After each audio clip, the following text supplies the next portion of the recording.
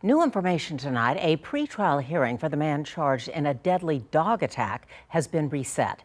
Christian Moreno was arrested in February following the attack that killed 81 year old Ramon Najera.